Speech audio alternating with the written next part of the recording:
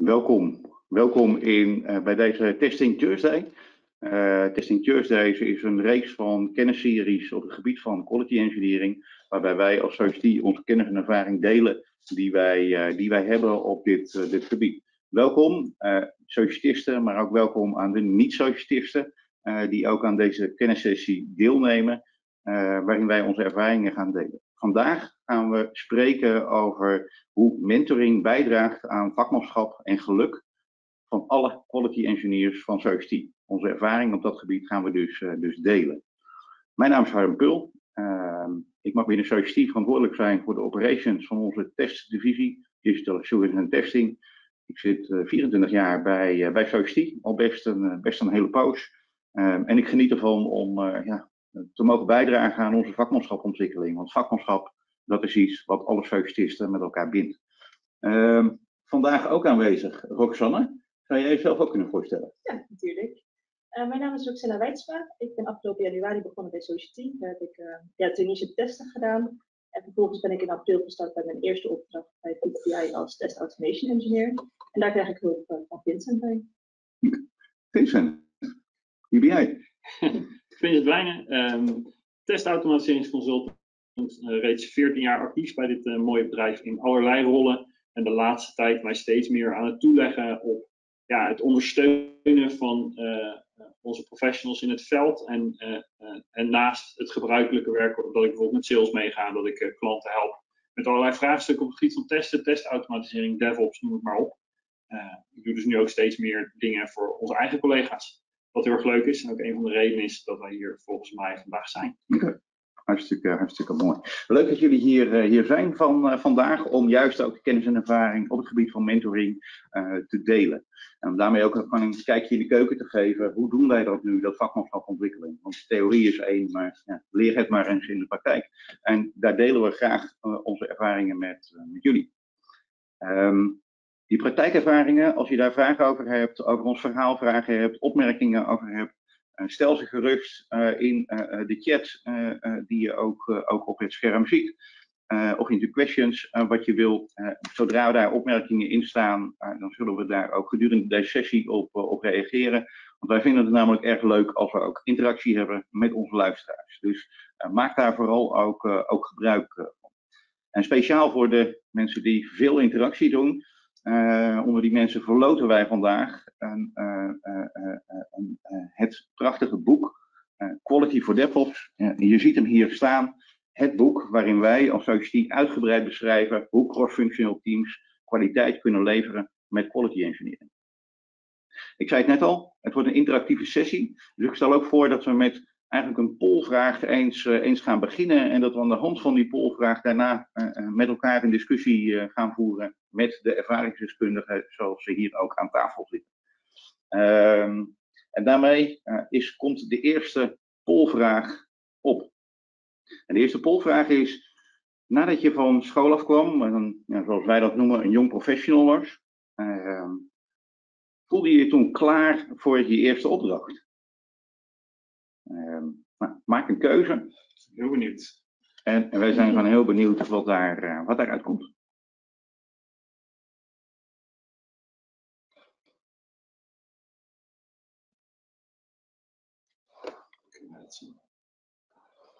Oh ja.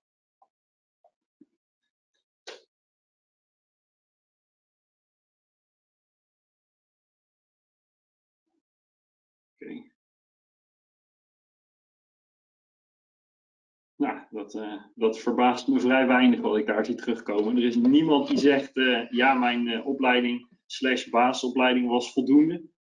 dat is ook wel echt wat, we, wat ik in het veld bij onze professionals tegenkom. En vervolgens zegt 18%, ik had graag meer vakinhoudelijke kennis willen hebben. nou, dat kan ik me voorstellen. Dat zijn er ook niet zoveel, want eigenlijk het, het grootste deel zegt, ik wist wel wat ik ging doen, maar niet hoe en ik denk dat dat ook een heel belangrijk onderdeel is van ja, het coachen zoals uh, Roxanne en ik dat doen. Dat ja, je weet wel dat je wilt testen, je weet wel dat je gaat automatiseren, je weet wel hoe zo'n tool werkt. Maar ja, welk testscript ga je nou als eerste automatiseren? Welke klantvraag ga je nou als eerst mee aan de slag? Uh, dus dat echt veruit het grootste deel. En die, uh, die dubbelt op, die zegt ik was zowel vakinhoudelijk als qua aanpak onzeker. Nou, dat is dus ook gewoon nog steeds een kwart. En dat vind ik wel, uh, ik vind dat mooie getallen, want het is natuurlijk, hè, dit laat gewoon zien dat wat wij doen, dat dat heel erg nodig is. Vincent, jij zit hier ook als ervaringsdeskundige op het gebied van mentor zijn, maar jij bent ook ooit van de HBO gekomen. Hoe, hoe was dat voor jou toen? Wat, wat, wat zou jij geantwoord hebben? Nou, ik zou, uh, ik zou denk ik uh, ook gegaan zijn voor, ik wist wel wat ik ging doen, maar niet hoe. Uh, toen de tijd was de basisopleiding nog echt nog wel langer, want het gaat over 14 jaar geleden. Mm -hmm. um, maar ja, ik weet dat ik bij KPN kwam. en hè, ik kwam in een team van societisten en ik kreeg een map op mijn bureau van hier is de documentatie van het systeem als het goed is ken jij testontwerptechnieken, veel succes. Nou, en dan zit je wel echt met vraagtekens in je ogen naar het scherm te kijken van oké, help.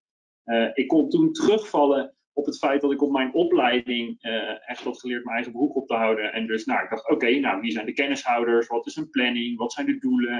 Toen ben ik echt een beetje van daaruit vertrokken. Maar dat was heel erg vanuit een, zeg maar, een soort aangeleerd instinct wat ik op de, op de hogeschool had geleerd. En niet per se, dit is hoe je een testaanpak wegzet bij een klant. En dat vond ik heel erg lastig. En zeker als je nog geen voorgaande ervaring hebt.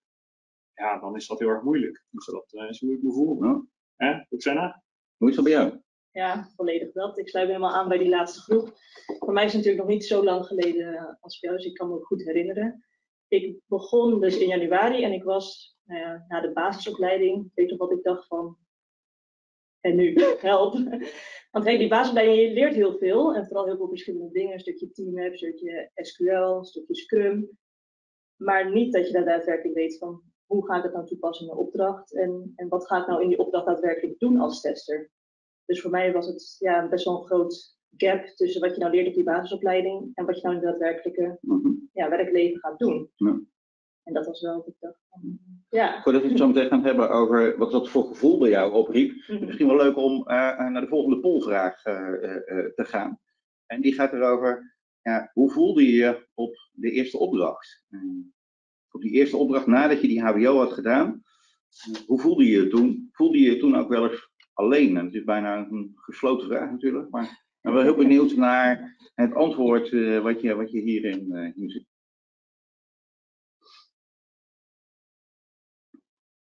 Nou, het gaat heel gelijk op.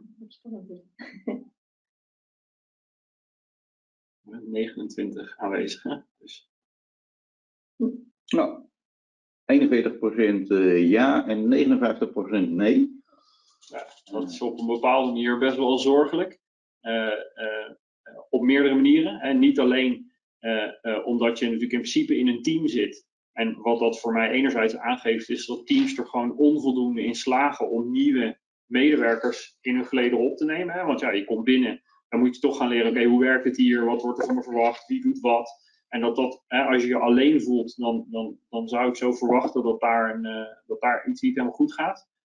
En anderzijds, weet je, dit gaat ook over rugdekking. Dit gaat over, heb je het gevoel dat er een net achter staat voor als je weg wordt geblazen door complexiteit, dat er dan iets is wat je opvangt. Want als dat niet zo is, dan kan het ook resulteren in dat mensen zich alleen voelen. En dat hoor ik ook van engineers. Hè. Ik praat vaak met young professionals. Uh, uh, ook trouwens wel eens van andere uh, dienstverleners. En dan krijg ik dat soort dingen gewoon terug. Ja, het is moeilijk. IT is super complex. Sta je dan met je HBO-diploma opgerold en een klein beetje testkennis. En dan mag je het gaan regelen. En als je team het dan druk heeft en zegt, ja, daar staat de handleiding. Dat is een heel eenzame manier om te starten. En goh, 41 is nogal hoger dan ik had gevreesd. Uh, 41 procent. Ja. Oké. Okay. Roxanne, hoe voelde dat voor jou? Uh, ik voelde me niet eenzaam, want ik had natuurlijk, en ik heb een heel leuk team op de opdracht dat helpt. En ik had natuurlijk aan de andere kant dat ik hulp. Maar ik kan me wel heel goed voorstellen dat als je dat niet hebt, dat je je wel heel erg eenzaam voelt. En dat ja, ook een stukje veiligheid mist of zo. Want je hebt aan de ene kant al, in ieder geval wat ik persoonlijk had, dus dat ik me en al niet klaar voelde voor de opdracht. En daarbij, wat ik ook merkte, is dat als je dus in zo'n nieuwe opdracht komt, je wordt gedropt in een nieuwe omgeving. Je krijgt allemaal informatie op je afgeduwd. Dus ja, ik, ik leg het ook altijd uit alsof het voelt als een soort van Sims-poppetje. Als je zo'n Sims-poppetje oppakt en dan zet je hem zo ergens neer, dan kijkt hij echt zo om zich heen zo van, help, daar ben ik. ja, zo voelde ik me wel, zo van, ja, hoe begin je daarin? Hoe, vind je je plek in zo'n team? En ik heb daar heel veel hulp aan gehad door Vincent, maar ik kan me voorstellen dat als je dat niet hebt, dat dat ja, toch wel een gevoel van eenzaamheid kan veroorzaken. Ja. Oké. Dat is heel mooi, hè? Uh, en daarmee ook best wel, best wel kwetsbaar, want daarmee maak je het eigenlijk ook wel een beetje, een beetje bespreekbaar. Uh, ja, wij van Society, uh, we, we, krijgen tegenwoordig elke maand zes of acht, ja, wat wij noemen young professionals, direct van school, nemen wij natuurlijk aan. Die, die, die krijgen allemaal een gedegen opleidingstraject, een stuk Ohio, nu nog steeds een stuk Ohio overigens, en een stuk um, um, echt het, het testvak ook leren in een, in een maand. En dan denken wij, ja, we zijn er klaar voor. Maar uh, uiteindelijk begint dan het echte werk pas echt. En dan, dan, dan, dan ja, als 41% van, van, van onze socialisten, dus een stuk of drie, vier, uh, elke, elke maand zich eigenlijk alleen voelen en niet gesteund voelen. Uh, ja, dat is, dat is voor mij eigenlijk onacceptabel. Dus, um, en juist ook als je over de andere kanten ernaar kijkt. We hebben zoveel klanten die dagdagelijks behoefte hebben aan meer testkennis, meer testervaring, meer testcapaciteit eigenlijk. In, in het brede vakgebied van quality engineering. Um, ik zeg wel eens, wij krijgen elke dag vijf aanvragen. We kunnen er elke dag maar eentje invullen. Dat, dat, voelt ook als wij, als leaders op het gebied van quality engineering, moeten gewoon te vaak nee verkopen. hoe gaaf zou het dan zijn als we mensen juist in een soort van, ja, ik heb het altijd genoemd, meester-gevel-concept. Um, mensen gewoon sneller het vakmanschap kunnen bijbrengen, sneller vakmensen kunnen laten zijn, sneller ook carrières kunnen laten ontwikkelen. En Vincent, hierover raakten wij in gesprek. Ja. Hoe ging dat? Um, nou, dat ging erover dat ik eigenlijk, uh, hè, wat je net beschrijft, dat is iets wat ik ook, uh, ook heel erg merk. Uh, dat als ik aanvragen te zien krijg, dan zie je dat eigenlijk aanvragen met, oh, het is geen probleem als je geen ervaring hebt die zijn dun gezaaid. Hè? Iedere klant wil liefst gelijk een senior of een medior. Uh, maar ja, het enige wat we dan op de bank hebben zitten, dat zijn een aantal van onze young professionals die net uit de basisopleiding stromen. Dan heb je een uitdaging. Um, wat, eh, en wat daarnaast ook een beetje gebeurt, is dat ik soms toch wel het idee heb dat als wij onze seniors 40 uur per week inzetten bij één klant, dan sluit je die kennis een beetje op. En er wordt er wel geroepen, ja, je kan altijd bellen, maar dat is toch een drempel. Hè? En uh, hè, je belt één keer, je belt twee keer, maar dan op een die derde keer heb je toch het gevoel dat je aan het zeuren bent. En dan merk je dat veel mensen dat niet meer doen. Nou, daar vond ik wat van. Ik zat zelf in... Misschien leuk om hier ja? even de volgende polvragen ook, ook op los te laten. Overigens, voordat die polvraag, er is iemand die, had, heeft, dat in de, die heeft een opmerking in de questions geschreven, die vind ik nog wel leuk om even nog naar boven te halen. Die zegt, bij mij was het vooral omdat ik als enige tester werkte. Er waren wel andere collega's van het bedrijf die mee gingen testen, maar die wisten er niks van af. Kijk, en weet je, bij alleen moeten we niet alleen denken aan dat je in een hok zit met de deur dicht en dat er geen mensen zijn. Nee, alleen kan ook zijn dat je in je vakgebied eenzaam bent. Hè? Dus dat er als tester niemand is om mee te sparren. Nou, hè, als automation engineer is het nog veel erger, want wij zijn gewoon dunner gezaaid. Hè? Soms hebben teams twee, drie testers, maar automation engineers zijn er zelden meer dan één. En als jij niemand hebt om mee te sparren, niemand om je ideeën mee te toetsen, om door geïnspireerd te raken of wat dan ook, ja, dan voel je je ook alleen. En ik denk dat dat vooral ook die alleen is uh, uh, waar we op doelen. Maar laten we zeker uh, een leuke opmerking... Wat in, want jij maakt de opmerking van, ja, natuurlijk stuur je iemand op een opdracht en die kan bellen en kan je het even, bellen maar als je een vraag hebt. -hmm. Maar hoe gaat dat nou in de praktijk? Hè? Dus ik, ben, ik ben wel benieuwd wat, wat wij daarvan vinden met elkaar op het moment dat we de, de volgende polvraag gaan beantwoorden. Want hoe vaak heb je in die periode, en misschien nu nog wel, echt, echt ook hulp gevraagd aan collega's van buiten je opdracht? Ja, dus degene die naast je zit is makkelijk natuurlijk, ja. want die zijn bereikbaar. Maar uh, ja, zeker ook Society is ook veel groter dan alleen de collega's op je opdracht. Mm -hmm. En de kennis die daarin verscholen zit is gigantisch. Dus hoe vaak heb je daar nou gebruik van gemaakt?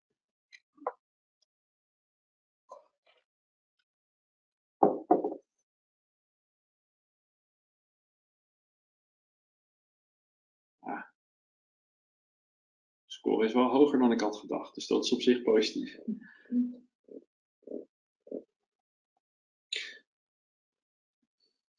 Nou, we komen op zo'n. Uh,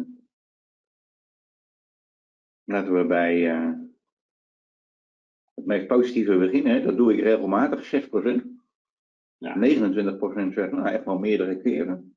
53% zegt, hmm, een enkele keer. 0% zegt nooit, want ik heb het niet nodig. En 12% zegt eh, nooit, omdat ik niet weet wie ik moet hebben. Ja, en dat snijdt natuurlijk ook een hele andere uitdaging aan, hè, die van de communityvorming. Eh, maar op zich is het wel, eh, hoe heet het, goed om te zien dat, de, dat er toch wel best wel meer dan 30% van de mensen zeggen ofwel dat doe ik regelmatig, ofwel dat doe ik, heb ik al meerdere keren gedaan. Ben dan wel nieuwsgierig en laat zeker ook je reactie horen. Eh, hè, een enkele keer, waar ligt dat dan aan? Dat je dat maar een enkele keer hebt gedaan? Daar ben ik wel, wel nieuwsgierig naar. Ehm, dus weet je, het is eh, fijn als je ook laat weten waarom je dat antwoord hebt gegeven. Hè? Dat geeft ons ook wat materiaal om nog eh, mee te werken. Ehm, maar dat zijn wel interessante antwoorden. En dit is waar zo'n jong professional, iemand, zo'n zo'n zo'n gezel als het ware, ehm, eh, eh, nog ja, zelf het initiatief moet nemen tot de vraag. En daar waar we eigenlijk net in jouw betoog eh, gestopt. Ja. Want, want ja, hoe, hoe kan dat ook? Nou ja, eh, wat, er, wat mij op een gegeven moment gebeurde, is dat eh, mij gevraagd werd om een young professional mee te nemen. Dat doen we wel eens om onze young professionals wat extra ervaring op te laten doen, is dat ze meelopen met een meer ervaren professional. En toen ontdekte ik eigenlijk dat de young professional dermate capabel was. Julia Pelgrim, hallo als je erbij zit. En ehm, hoe heet het? Eh, dat ik heb gezegd, weet je wat, na drie weken, volgens mij kun jij dit ook. En zou het dan een idee zijn om aan te blijven als coach? Want voor de klant die vond het ook eigenlijk wel heel erg interessant. En wat ik toen heb zien gebeuren eigenlijk, is dat je op het moment dat je gewoon beschikbaar bent en dat je gewoon regelmatig aanwezig bent om vragen te beantwoorden. Ja, ik denk dat ik nog nooit iemand zo snel heb zien groeien op een opdracht. Hè? En dat zegt natuurlijk wat over Julia, maar dat zegt ook wat over de context waar ze in landen. Nou ja, toen werd ik enthousiast en toen dacht ik, dit gaan we nog een keer doen. En uh, gelukkig kwam uh, ook op een gegeven moment op de lijn van help, ik vind het uh, vak best griezelig. Kunnen we het eens een keer hebben over ja, testautomatisering en hoe verhoudt het zich tot testen en, en hoe zit dat allemaal? Nou, en dat was een heel goed gesprek. We hebben gezegd, wij gaan dit feestje nog een keer herhalen. Ja, en dan zie ik weer precies hetzelfde gebeuren. Dus nu heb ik de smaak te pakken. Inmiddels al vier opdrachten verder waarin ik dit aan het doen ben, zie je dat dat effect enorm is. En um, weet je, dit gaat over hulpvragen aan je collega's. En Oksana, zeg maar, ik ben niet de enige waar je contact mee hebt om het over je vak te hebben. Hè? Want een van de dingen die ik bijvoorbeeld ook probeer te doen, is juist die professionals verbinden aan het netwerk wat daar omheen ligt. Ja, klopt. En we hebben het daar ook heel veel vaak over gehad. En de noodzaak ervan, maar ook hoe je dat nou doet. Want zoals je al zei, het is, als je als young professional binnenkomt, ja, die melding van je hebt zoveel collega's gemaakt daar gebruik van, die krijg je ook heel veel. Alleen hoe doe je dat nou? Ik, ik, vond het best wel een drempel om er overheen te stappen. Want ten eerste, wie contacteer ik? En stoor je ze niet? Nou, dat toch dat gevoel dat je nou denkt van, ga ik ze bellen, stuur ik ze een chatberichtje, stoor ik ze? En dat is voor mij best wel een drempel. En via jou gaat het gewoon net iets makkelijker. Ten eerste laat Vincent nog weten van, wil je daar wat over weten? Goh, contacteer dan even die en die. En dan denk ik van, oké, dan kan ik dat gewoon doen. En dan vaak volgens mij zeg je ook tegen me dat ik daar aankom, dus dan weten ze er ook vanaf. Dus op die manier kom ik meer in contact met andere collega's. En ook gewoon, jij andere coaches inderdaad, gewoon met elkaar. Gewoon even sparren over dit, hoe pak jij het nou aan? Ik heb gehoord dat je dit hebt gedaan, hoe doe je dat nou? En daarmee delen we ook de kennis met elkaar. En wat voor soort kennis is dat dan? Is het echt technische automatiseringskennis of, of gaat het breder? Eigenlijk, eigenlijk van alles. Technische kennis, ik doe dan met Julia bijvoorbeeld als pair programming. Dan gaan we dat echt kijken naar een stuk, ja, gewoon code schrijven samen.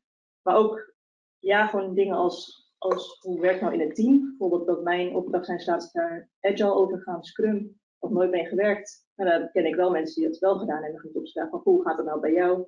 Hoe ja, vervul jouw jouw rol daarin in dat team? Dus ook over dat soort dingen. Ja, het gaat, het gaat heel breed eigenlijk. Ja. Vincent, dit had je al een beetje achter de rug. Hè? Dus toen wij deze zomer met elkaar in gesprek raakten over dit onderwerp, ja. en daar moeten we wat mee. Wat? Nou ja, uh, kijk, uh, ik heb het echt beren naar mijn zin. Uh, ik zie dat Julia, Oksana, ook andere coaches, die groeien als kool, om het maar zo te zeggen. Dus die maken echt een enorme ontwikkeling door.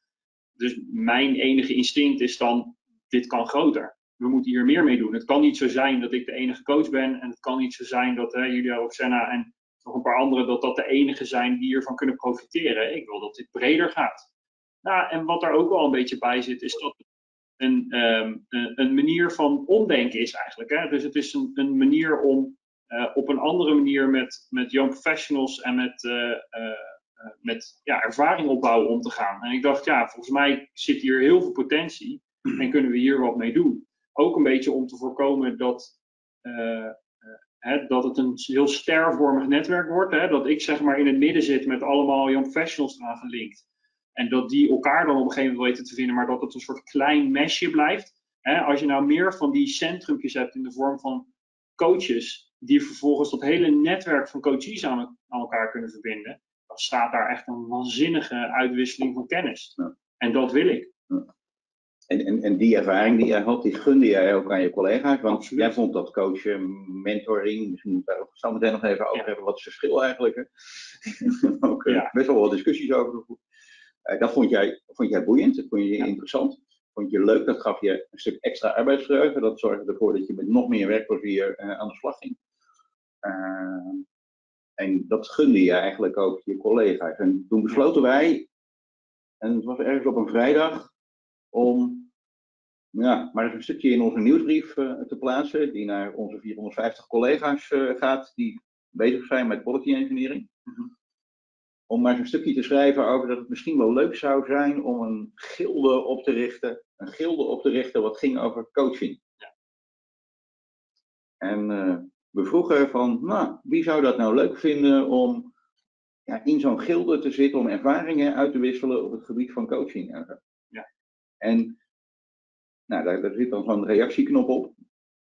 En ik dacht, nou, er zijn er vast wel een stuk of tien die dat leuk vinden. En daar gaan we dan wat voor organiseren. En dan hebben we een keer een avond en dan gaan we een guild oprichten. En we hadden er 62? Ja. 62 collega's van de 450 die we hebben.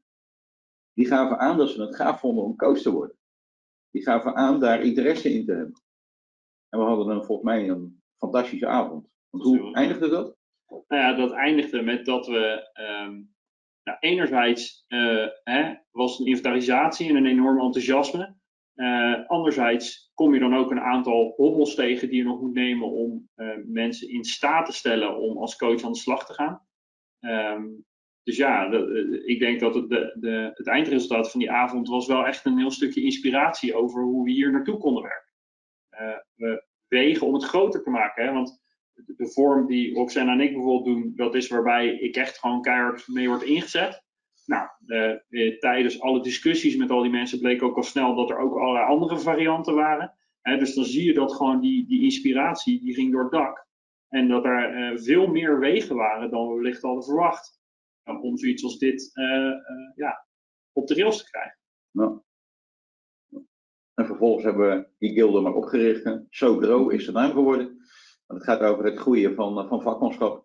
Uh, we hebben een coachingsregister uh, waarin mensen aangeven voor hoeveel tijd en op welk gebied ze zouden willen coachen. nou, en er zijn al ja, enkele tientallen, volgens mij combinaties, nou in ieder geval meer dan tien combinaties ontstaan na die periode, nadat we dat opgericht hebben. het is ondertussen, denk ik, de meest grote guild direct bij aanvang binnen Society hebben dat soort schilders. Dus dat is, eh, dat is ja, boven verwacht, boven verwacht succes. En ik vind het fijn om dit soort dingen vanuit mijn positie als operationsmanager verantwoordelijk voor DANT eh, te kunnen organiseren. En ik voel me ook dat we dat als werkgever kunnen. We, hebben zoveel aanvragen waarin dat in te passen valt. We hebben ook zoveel mensen die graag coach willen zijn.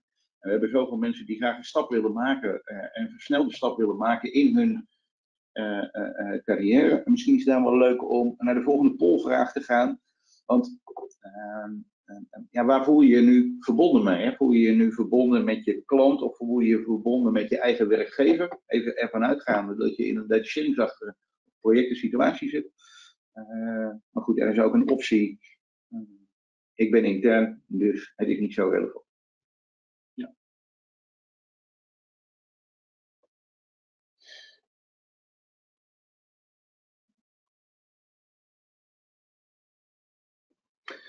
Want daar zit, uh, daar zit voor mij ook wel, uh, zeg maar, gevoelstechnisch een stukje geschiedenis uh, achter.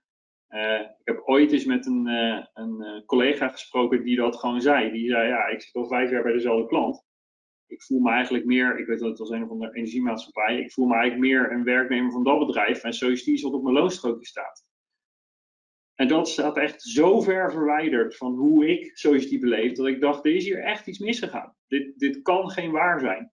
Waar is dat nou misgegaan? Nou, een van de dingen die mij, eh, daar, een van de zaken die daardoor geïnspireerd zijn, is bijvoorbeeld SoPlay, hè, waarmee we door middel van games mensen bij elkaar brengen. Maar dit past perfect in die straat. Om mensen eh, toch ook een ja, wat stevigere connectie weer met het moederbedrijf te geven. Dus ik ben heel benieuwd. Ehm, nou, kijk, dat is wel de antwoorden zijn heel interessant. Vooral 40% die aangeeft, ik ben intern, dus dit is niet relevant. Nou, dat moeten haast ofwel staf van ons of externe zijn. Ehm, dus nou, dat, eh, dat is ook fijn, hè? Uh, um, die tweestrijd tussen ik werk wel bij een klant, maar ik werk eigenlijk voor een andere werkgever. Dat is bijvoorbeeld voor sommige mensen ook echt expliciet een reden om niet voor detachering te kiezen. Uh, want dat is wel een, een, een ja, strijd, is veel gezegd, maar dat is een spanningsveld wat je wel bewust aan moet gaan. Maar toch zie ik ook 13% zeggen uh, waar. Dus ik voel me meer verbonden met mijn klant dan met mijn eigen werkgever. Maar als werkgever moet je dan heel goed realiseren dat die al met één voet over de drempel heen staan. En dan heb je dus een probleem. Hè? Want dat betekent niet alleen potentieel dat je een werknemer verliest. Maar dat betekent ook dat je kennis verliest, dat je energie verliest, dat je enthousiasme verliest, dat je, weet je wel, moeite verliest wat mensen in je organisatie willen steken. Want ja, als ik me meer een, uh, noem maar wat, een KPN'er voel dan een societist, waarom zou ik dan niet daar een evenement organiseren? Terwijl wij die energie net zo goed kunnen gebruiken. Oh. En wat ik hoop, hè, en goh, uh, um, uh, dat, dat kun jij wellicht wel beamen, maar het hele idee van zo'n coachingstraject is toch ook dat je je weer wat meer verbonden voelt met het moederbedrijf. En dat je daar niet in je uppie zit. Hè, al is het maar omdat je dingen hoort. Dat kan ook zijn omdat je met zo'n gek als ik op opdracht zit die het gewoon fantastisch vindt om te vertellen over alle toffe dingen die we doen. Maar hè, het gaat echt om die verbinding. Maar ja, jij geeft ook aan dingen die mogelijk zijn binnen team. Want ik denk, nou, stel je komt er dan binnen als je een professional gaat je eerste opdracht in, dan ga je misschien ook heel snel dat je ook daar, blijft en dat je gewoon niet weet wat er allemaal mogelijk is. Van dat je nou gewoon avonden kan organiseren, dat je met elkaar samenkomt om over een robot framework te praten, bijvoorbeeld, we een keer gedaan. Dat soort dingen, dat helpt ook weg. Dat is een uitstekend punt wat je daar opbrengt, want dat is inderdaad ook een van de, uh, hè, van de rollen die ik als coach kan spelen, is dat, ja, dat ik jou kan vertellen over wat er allemaal te doen is. Die events, de mogelijkheden. Ik weet nog heel goed dat, dat, dat je zei van, ik, goh, ik vraag me af hoe andere mensen dit met Robot Framework doen. En dat ik zei, nou, dan gaan we toch wat regelen. Uh, en dat jij zegt, oké, okay, maar er staat niet heel veel werk. Nou, we hebben er een mailtje aangeweid, een ruimte geboekt. Nee, dat hoeft niet, want het was op Teams. Dus we hebben basically een mailtje gestuurd en ik heb nog een paar mensen achter een folder aangezeten omdat ze niet reageerden. En hoppaka, je had een, weet je, we hebben gewoon een masterclass georganiseerd waar je dingen kan uitwisselen. Weet je, en dat soort inspiratie, dat moet ook ergens vandaan komen. Dat groeit niet op je rug, zeg maar. En dat is ook iets wat je als coach, die de organisatie vaak wat beter kent dan een young professional, ik zit er wel even. Maar ook dat je de ruimte hebt om daarover na te denken. Want ja. als je in je eentje ergens komt, dan ga je helemaal focussen van hoe, hoe, ja, hoe ga ik het redden eigenlijk? En hoe ga ik deze opdracht goed doen? En wij kunnen dat gewoon samen bespreken en ook een stapje terugzetten van over het grote geheel nadenken, denk ja. ik. Nee, nou ja, als je dat zo ervaart, dan geloof ik dat direct. Want ik, uh, ik, denk, dat, uh, ik denk dat dat voor meer mensen zal gelden. Ik zie dat we een paar polvragen hebben, maar voordat we naar die eerste, of naar, een aantal vragen hebben staan, maar voordat we naar die eerste vraag gaan, zou ik misschien nog één polvraag willen doen, want die sluit mooi aan op de eerste vraag die ik, uh, die ik stiekem zie. En dat is, ja, je kan leren op verschillende manieren. maar wat heeft nou jouw voorkeur? Wat heeft nou jouw voorkeur om te leren? pairing, als in per pro, programming, per testing, lezen van een boek, praten met collega's, online een training te volgen op je eigen tempo, een training te volgen op locatie, een docent, of door het te doen in de praktijk.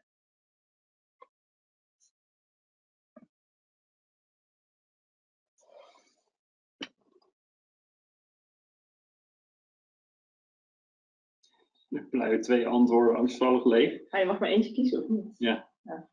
ja. welke welke heeft de voorkeur? Welke heeft jouw voorkeur?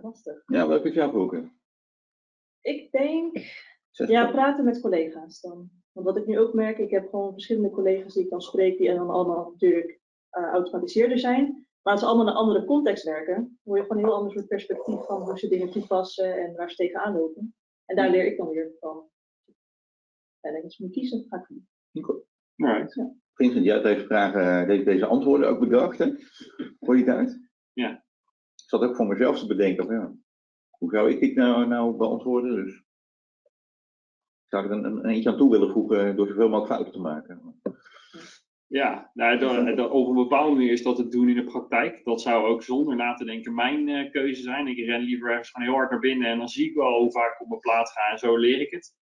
Ehm, maar weet je, als je kijkt, ehm, er staan eigenlijk staan er maar twee opties ruwweg in. Hè? Leren van zeg maar iets passiefs, hè? een boek of een online training of wat dan ook. Eh, of leren van anderen. Want per programming of per testen, dan ga je ook samen met iemand zitten en dan ga je dat samen doen. En wat jij met Julia bijvoorbeeld doet, dan ga je gewoon samen een probleem oplossen en daar leer je van. Praten met collega's en doen in de praktijk. Goh, dat kun je solitair doen, maar we zitten tegenwoordig allemaal in teams, dus dat is eigenlijk nooit eh, heel solitair. Eh, dus dat laat wel zien dat, dat echt die pracht, praktische toegepastheid, ja, dat is belangrijk. Nou ja, en waar sluit eh, eh, het mentorschap en het mentieschap echt naadloos op aan? Precies die antwoorden die gekozen zijn. Ja. Dus eh, eh, 53 of 55% geeft aan door te doen in de praktijk. Nou ja, hoe relaxed is het als je kunt doen in de praktijk met een soort van wijze papegaai op je schouder die dit al tien jaar doet, die je gewoon kan helpen om, om, om, om, ja, net even de juiste keuzes te maken. En dat geldt voor pairing ook. Ik bedoel, hè, eh, in die zin hebben wij zeker in het begin ook heel veel gepaired. Dat hebben we met jullie ook gedaan. Eh, eh, ik schrijf die code niet, jij schrijft die code en ik geef je hints. Hè, dus, dus op die manier leren de meeste mensen gewoon het liefst. Nou, dus dat is goed om te zien. De manier waarop jij daar ook invulling aan geeft, aan op mentorschap, hè, zo, zo ken ik dat ook wel, dat je gewoon echt frequent ook contact hebt. Op het Ja. moment dat er vragen zijn, dan, dan ben je er ook. Hè. En dan Ja. Verwijs je of door, of je geeft zelf antwoord, of je verwijst ook, eh, ook door. Hè. In de eh, eh, vragen wordt ook gesteld, er zijn verschillende teamskanalen voor verschillende onderwerpen, maar die lijken niet echt gebruikt te worden. Ik heb al eens een kanaal gezien waarin al maanden geen contributievraag of comment gedaan was. Nou, Die, die hebben we als hier voor de verschillende Ja. vakgebieden die we hebben. Toch nou, lijkt dat niet echt te leven. Nee, want het voelt toch, weet je wel, dat voelt alsof je het een beetje in de leegte achterlaat als je daar een vraag post. En ja, eh, eh, een antwoord leidt vaak ook weer tot nieuwe vragen. Dat is wat we uit onze sessies ook zien. Je hoort iets en denk je, oké, wacht, maar dit snap ik niet. Hoe past dat daar dan in? En als je dat allemaal via zo'n online kanaal moet doen, dan gaan daar weken overheen. Weet je, en zo lang nou ja, wil ik nooit wachten. Dus dan is het echt veel fijner om dat gewoon met een collega te doen. Ja, eens. En voor mij zou het ook zijn, je weet niet hoeveel mensen er allemaal in zitten. Dus ik, ik ben meer iemand in een kleinere groep, als ik die mensen ken, als ik een keer gesproken heb, dan ben ik veel vrijer om dingen te vragen. Daarom is ook net zo'n zo'n masterclass. Dat, dat daar zou ik sneller contact in opzoeken dan in zo'n andere groep. En wat dat betreft ben je niet heel raar, want dat zien we vaak. Dank je. Dat zien we gewoon vaker, dat je, dat je pas die vraag durft te gaan stellen op het moment dat je een beetje een band ook, eh, ook ontwikkeld hebt. En juist een coach waarmee je het misschien wel niet alleen over hele specifieke test automation dingen hebt, maar het ook over eh, het gedrag van je Scrum Master kunt hebben, omdat je even niet begrijpt waarom of dat die opeens de prioriteit gaat stellen, terwijl je eigenlijk verwacht zou hebben dat de product owner, nou, Ja. noem maar op. Hè. Juist dat soort van, van issues kan je natuurlijk ook bij eh, Ja. eh, je mentor of je coach. En ook als zo'n professional, je hebt nog niet zoveel ervaring. Dus ik heb ook het idee soms van, stel ik nou een vraag, wat natuurlijk zijn er geen domme vragen, maar voor je gevoel voelt dat wel zo. Het is toch zo'n grens. En ik denk helemaal met zo'n ja, mentor, dan bouw je op een gegeven moment een band op en dan, dan kan dat gewoon. En ik denk dat dat ook wel een belangrijk onderdeel is. Nou, en dat is ook wat we veel hebben gedaan. Hè? Bijvoorbeeld het voorbespreken van meetings. Dus je komt binnen, nou dan moet je een developer ergens voor eh, hebben. Maar als jij Jan Professional Tester bent, die hele gedachtenwereld van die developer, dat is al helemaal een buitenaardse plek. Hè, dus dat is ook, zijn ook dingen die we dan bijvoorbeeld. Ik chargeer een beetje natuurlijk. Maar- die developers die kijken. Hè. Ja, nou, ik, ik, alle respect voor jullie. Nee, maar eh, weet je, eh, dat soort dingen kun je dan ook heel goed voorbespreken. En naamspreken. Ja. Wel. En daar waar het gaat om eh, betrokkenheid en of zo'n. eh, oh nee, sorry, hier is, is Chantal nog. Eh, en Chantal, je hebt de vraag van: kan je nog aansluiten bij de Coaching Guild? Ja, dat kan. Eh, wees welkom eh, op de Einstein-pagina. Ga naar de guilds en daar zie je een overzicht van de guilds en kan je je zo aanmelden bij de SoGrow, het SoGrow initiatief, de SoGrow Guild. en kan je ook jezelf opnemen in overleg met je career manager voor ehm, in het coachingsregister. Ehm, want het is natuurlijk super gaaf om op die manier ook mensen mee te mogen nemen en op te leiden en te mogen begeleiden. Dus wees welkom. We staan er al best wat in, maar we kijken er zeer regelmatig in. Juist op het moment dat we een gevoel hebben van, nou, hier zou iemand goed op passen. Maar we willen net even iemand dat duwtje in de rug ook geven. Met gewoon een ervaren coach erbij, die misschien wel met één dag in de week begint en het dan afbouwt of iets dergelijks. En we merken ook dat dat in bestaande opdrachten van onze professionals bij klanten vaak gewoon heel goed bespreekbaar is om dat een klein beetje af te bouwen. Eh, en dat hoef je echt niet zelf te doen. Daar kan je career manager bij helpen. En daar kan ook de sales bij, ja, bij helpen. Ik heb nog niet één klant meegemaakt, nog niet één klant meegemaakt waar dat echt een, eh, een issue was. Dus uh, ja, wees welkom in de Coaching Guild Socro. Ja, en ik ken Chantal heel goed. Dat zou echt perfect zijn. Dat is op de lijf geschreven. Dus uh, ik had eigenlijk al gedacht dat je erbij zat. Dus ik zou zeggen, kom snel. Ik, heb ooit Chantal in mijn team gehad. Uh, In, uh, wat was het? Nou, ik weet het niet meer. 2000, ja, 2003 of zo. Ja, die draait wel even mee. Alleen uh, toen was Chantal nog Java developer. Ja. ja, maar van daaruit is ze ook echt doorontwikkeld de testautomatisering in. En zo iemand heeft echt royaal de expertise om mensen op sleeptouw te nemen. Dus top, ja. super. Heel leuk. Wing heeft ook nog een vraag. ik denk dat het een beetje afhankelijk is van de werknemer. Um, um, wanneer een werknemer ervoor kiest om geen CFT-events mee te maken, dan kan ik me voorstellen dat hij minder betrokken voelt bij CFT dan waar hij uh, is ingezet. Uh, ja. Ja, snap ik. En dat gebeurt. Uh, ik ken collega's die met een thuissituatie zitten, die het heel lastig maakt om dat soort dingen te doen. dus weet je, ik zou heel blij zijn als we dit als een extra kanaal richting hè, de energie van sociëteit, om het maar even zo te zeggen, neer kunnen zetten. Zodat zelfs als ze misschien wat minder van die events doen, dat ze toch die verbondenheid kunnen creëren, omdat ze via een coach worden opgenomen in een netwerk. En ook als coach hè, word je opgenomen in het netwerk van SoGrow en gaan we mensen elkaar koppelen. En dan lijkt me uh, dat iets wat we heel goed kunnen oplossen. Okay. Uh, hoe ben jij geïnteresseerd in mentoring? Dat is eigenlijk uh, de volgende polvraag. Uh, nou, eigenlijk wel weten met welke achtergrond zit je hier. Ben je nou uh, nieuwsgierig naar het initiatief? Zou je graag mentor willen worden? Zou je graag een mentor willen hebben? En ja, hoe, hoe zou je dit soort van tandems van mentor en mentee nu kunnen inzetten bij, bij een klant? Dat kan natuurlijk ook. Uh, dus we zijn benieuwd naar uh, uh, antwoorden. Wij moeten het zo meteen ook nog wel even hebben over wat is nou mentor en coach. Want ja, ja. ja die moet niet vergeten. Nee, er zitten wel verschillen tussen. Ja. Die hebben we voor het SoGo-initiatief uitgebreid onderzocht. Dus dat is bekend. Even kijken. Nou, we hebben wel redelijk wat uh, stemmen binnen. Uh, 6% wil graag weten hoe we nu zo'n tandem inzetten. Ja, nou top, kom op de lijn. Gaan we dat regelen. Bij wie? Ja, bij jou, bij mij. Uh, als je de ervaringsdeskundigheid zoekt, dan kun je bij mij terecht. Als je ook, als het ook, zeg maar, laten we zeggen, het logistieke, stuk, logistieke stukje uh, erbij zit, of als het echt gaat over het vrijmaken van mensen, weet ik wat, ja. dan denk ik dat jij de aangewezen persoon bent. Dat mandaat heb ik. Ja.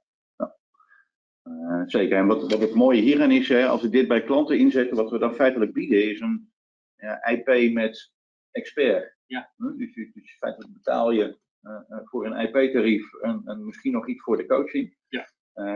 maar ja, ja je, voor, een, voor een laag tarief heb je ook zeg maar, gewoon alle expertise aan boord die, die je aan boord wilt hebben. Ja. Voor klanten heeft dat echt enorme voordelen en we zien nog steeds meer klanten die hier enthousiast voor worden. Um, en wij zien zelf nu ook al af en toe dat, dat, dat sales een aanvraag krijgen voor misschien iets meer ervaring iemand dan een EP, iemand met 1, 2, 3 jaar ervaring.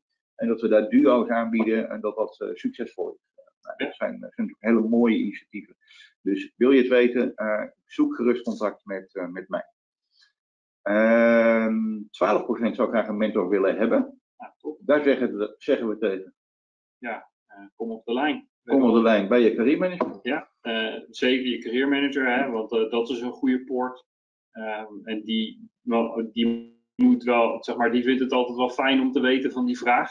En dat is gewoon een goed startpunt, want die heeft ook het netwerk om bij coaches uit te komen.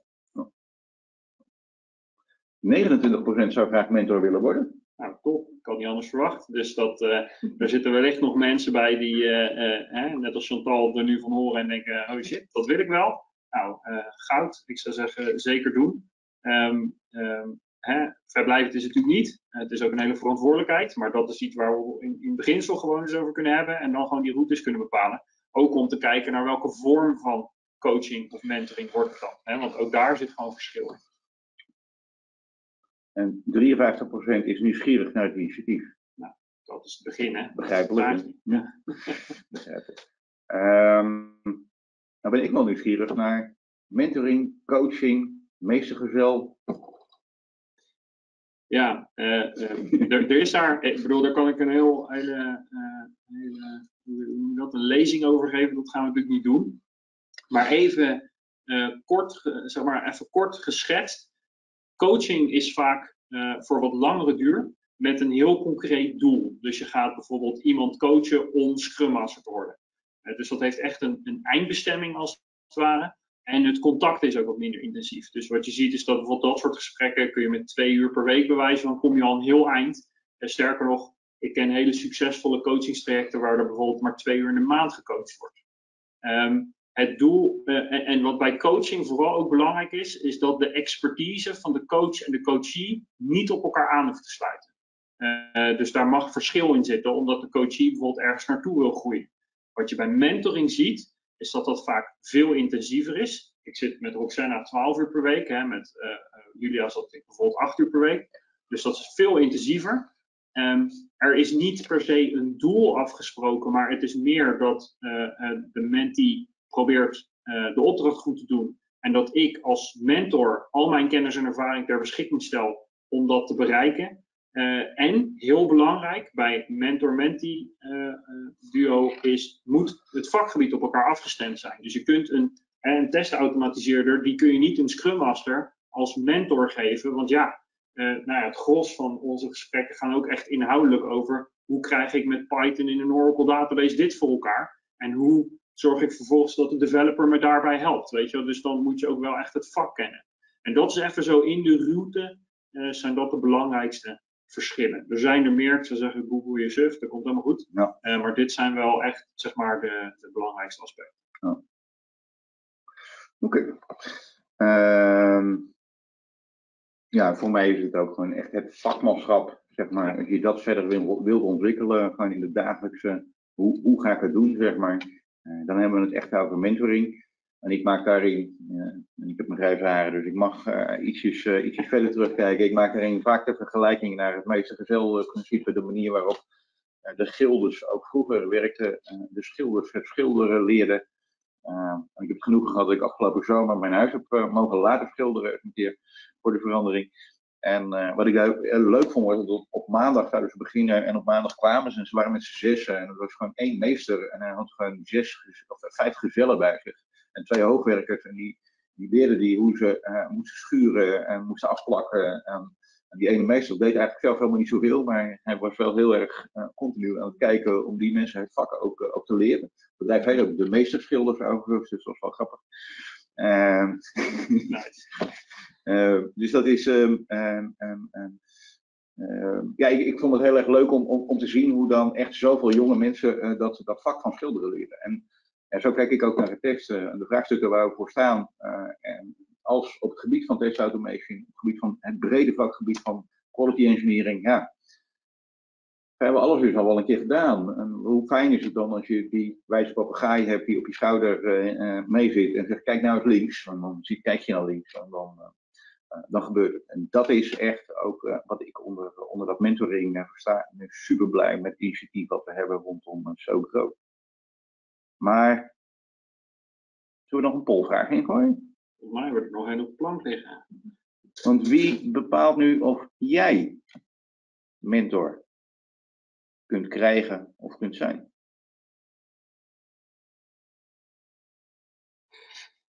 Nou, dit is het eerste antwoord. Top. Geen idee. Dat ook belangrijke antwoorden.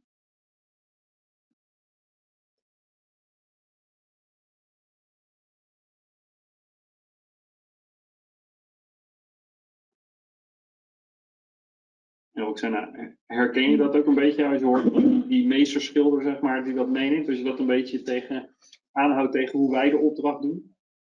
Ja, sowieso. Ik denk sowieso dat in het algemeen dat elke professional een mentor moet krijgen. Dat, dat sowieso apart. En daarbij helpt het in heel veel aspecten in de opdracht en bij mijn ontwikkeling. Sowieso natuurlijk een stukje vakinhoudelijk van over testautomatisering. Maar het gaat nog veel verder dan dat. Ja. Ik bedoel, ja, van hoe, wat is jouw rol in het team? Hoe ga je nou om inderdaad, met de developers en, en, en de testers en dat soort dingen? En ja, veel meer daarbuiten nog dingen zoals QXD bijvoorbeeld, waar je hem ook in, in hebt geholpen. Mhm. Dus het heeft heel veel verschillende aspecten dan alleen maar bijvoorbeeld testautomatisering. En ik denk dat dat heel erg veel waarde biedt. Nou ja, en je geeft het ook al aan. Eh, eh, vervolgens stond ik niet op QXD, nou dat stond ik ook, maar ik stond daar niet te vertellen over, eh, zeg maar, hè, over jouw opdracht. Dat deed je zelf. Hè?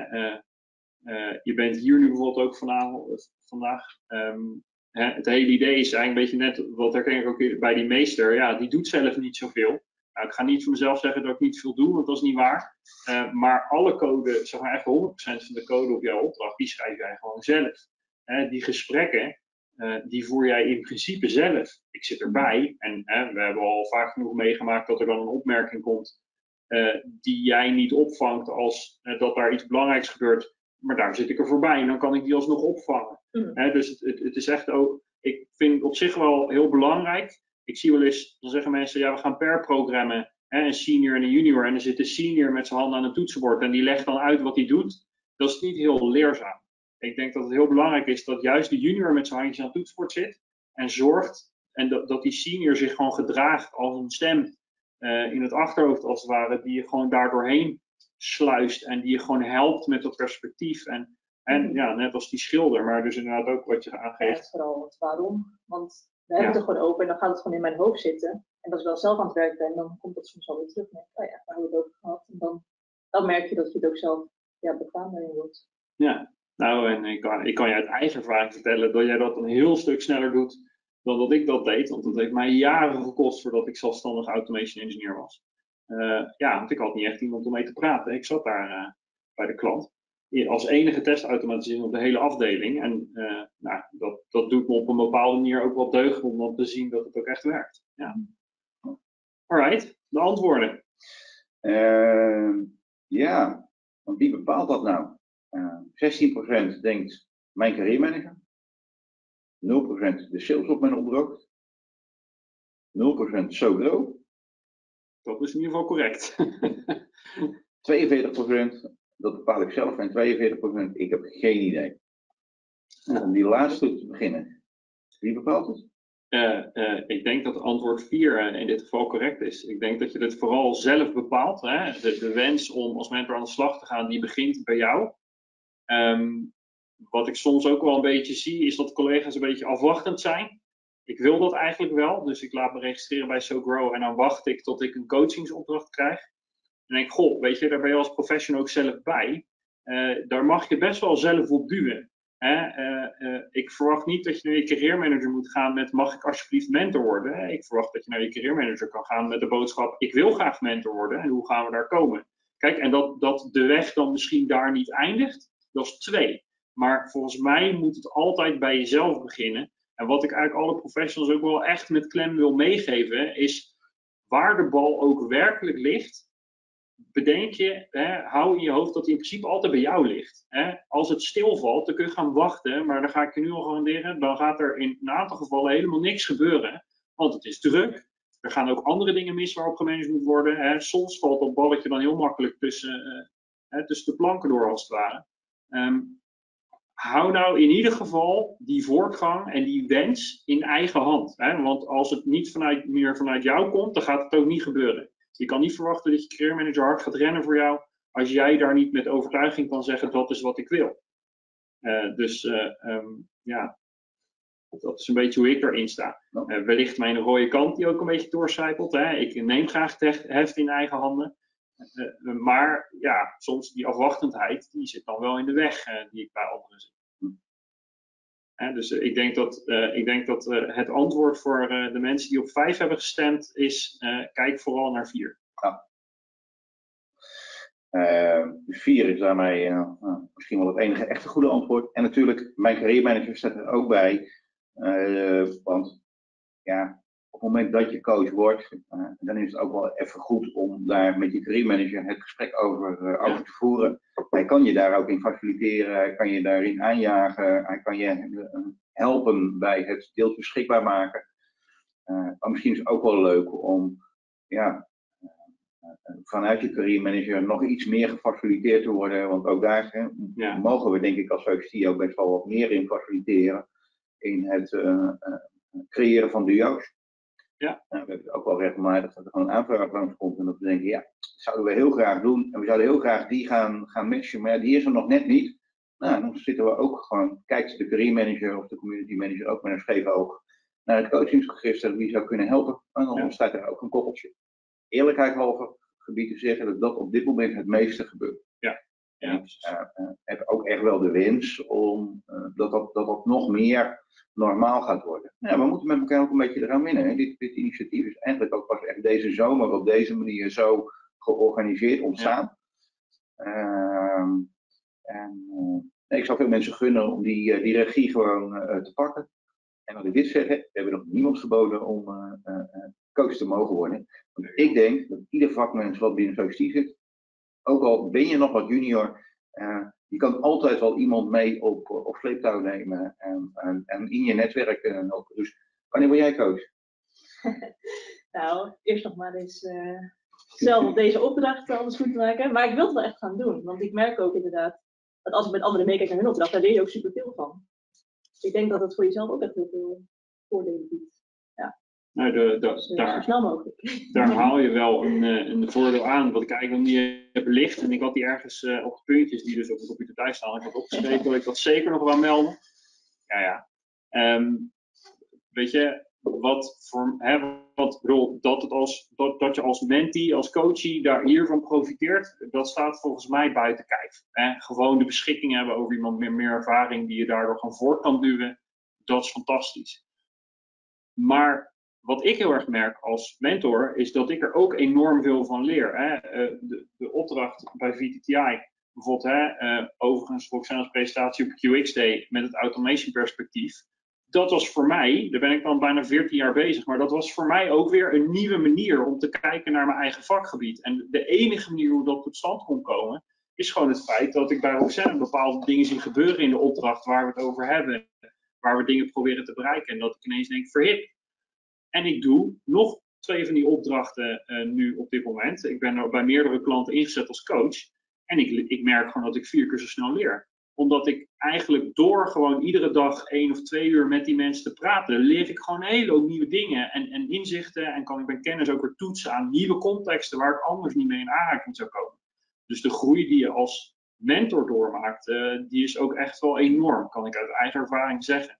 Dus weet je, doe ook vooral jezelf een lol eh, eh, om ja, zeg maar die groei voor jezelf daarmee te realiseren. Hè? Ik bedoel, natuurlijk moet je het overdragen, maar die, mentees die zijn ook niet dom. Die stellen hartstikke goede vragen. Die wijzen je op dingen die je zelf helemaal niet had gezien, omdat je niet fulltime in die opdracht zit. Hè, de, de, die wisselwerking is enorm. Het is echt geen eenrichtingsverkeer van mij naar Roxana. Dat gaat echt 100% twee kanten op. Hoe gaaf is dat, hè? Dat, je, dat je ook zelf uh, als mentor ja. eigenlijk tot de conclusie komt, ik leer nu vier keer zo snel. Nou, weet je, ja. eigenlijk moet hij jou dankbaar zijn. Ja, dat ben ik ook, enorm. Ik ben al mijn uh, coaches, ben ik echt, uh, ja. al mijn mentees zijn het, hè. in mijn geval ben ik echt enorm dankbaar. Ja. Uh, want ik heb er ook gewoon echt minstens zoveel geleerd, van geleerd als zij. Ja. Ja, dat brengt ons wel bijna in, in de afronding. Hè, want het, het, uur vliegt voorbij op het moment dat we hier zo aan tafel over, over dit prachtige initiatief zitten, zitten te praten vanuit twee verschillende perspectieven zijn wij bij elkaar gekomen. Jij vanuit het mentorschap en ik vanuit en dat gewoon in de praktijk doen. En dat aan meer collega's ook gunnen om mentor te mogen zijn. En meer collega's gunnen om snellere carrière te maken, terwijl als mentor of mentee. Ik vanuit het gevoel, ja, wij als sociëteit zitten in een unieke positie met zoveel vragen en vacatures waar we dagelijks gewoon unieke combinaties kunnen maken met vakmanschap. En zowel de mentor als mentee extra snel kunnen laten groeien. Want vakmanschap groeien, en vakmanschap is sociëteit en vakmanschap versneld laten groeien, dat maakt ons extra succesvol. Dus, uh, dat, dat, dat red je bijna bij een eindklant niet, zeg maar. Hè? Dus dat, dat, dat kunnen wij juist, omdat we zoveel verschillende vragen hebben en die mooie combinaties ook, uh, ook kunnen bieden. Uh, en dat gaat uiteindelijk, ja, brengt dat ontwikkeling, uh, brengt dat zelfontplooiing, maar brengt dat ook, en zoals jij dat ook zegt, geluk, uh, arbeidsvreugde, arbeidsgeluk. En uh, hoe gaaf is het als je elke dag, juist door dit soort extra initiatieven, kerst op de taart, ehm, dat extra arbeidsgeluk kunt creëren als, als werkgever, zoals wij dat, dat ook, ook zijn. En ik ben super trots op het initiatief SoGrow. Um, voor nu zou ik jullie daar alvast hartelijk voor willen danken voor actieve deelname aan dit gesprek. Voor jouw enthousiaste verhaal en voor jou net zo goed enthousiast, maar ook wel met wat ja, kwetsbare kantjes van overheid alleen voelen en dergelijke. Want juist dat brengt ons ook, ook verder en geeft ook uh, heel mooi, denk ik, de noodzaak weer waarom dit een, fantastisch initiatief is. Um, ik had jullie aan het begin van deze kennissessie ook beloofd dat wij nog een prijs gingen uitreiken voor de mensen die actief hebben deelgenomen uh, en een tweetal boeken zouden gaan verloten. En ik heb zojuist een briefje uh, gekregen. Uh, deelnemer René Zwarts, gefeliciteerd. Hij staat hier voor jou klaar. Wij nemen contact met jou op. dit boek gaat jouw kant op komen. Um, maar we konden eigenlijk niet kiezen wie is nu de eerste of de tweede plaats. Dus op gedeelde eerste plaats zien wij ook Ruud van Berkem uh, ook jij van harte gefeliciteerd met het winnen van het boek. En ook jij, uh, met jou zoeken wij, uh, zoeken wij contact. Um, hartelijk dank voor alle aandacht. Hartelijk dank voor alle interactie. mochten er nog vragen zijn, zoek gerust contact. Ehm, mijn gegevens zijn wel ergens te vinden. En anders zoek nog eventjes via de mail ook, ook contact. Um, en dan gaan we alle vragen ook over dit onderwerp uh, beantwoorden. Het was mij een groot genoegen om jullie hier te hebben. Het was mij een groot genoegen om met jullie te delen wat wij op het gebied van mentoring aan het doen zijn. Dank jullie wel.